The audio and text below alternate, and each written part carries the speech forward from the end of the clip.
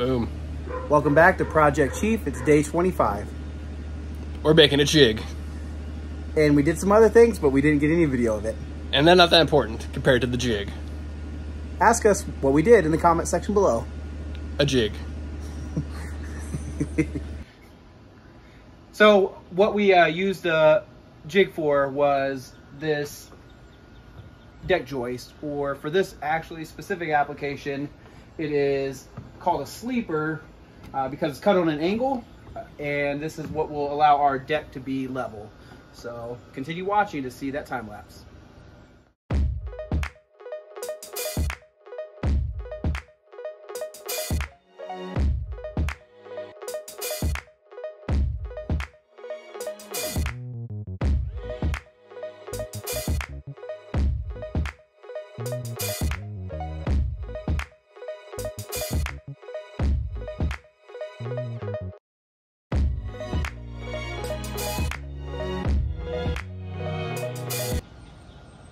Thanks for watching. As you just saw, we built uh, that guy right there. In case you're curious, it's a jig. Also, like this video for more content like this. Also subscribe to our YouTube channel. Leave a comment. Say something nice. Say something mean. Just say something. Just interact with us, please. Please. Also, ring the bell for notifications. Boom. Roasted. Finger guns.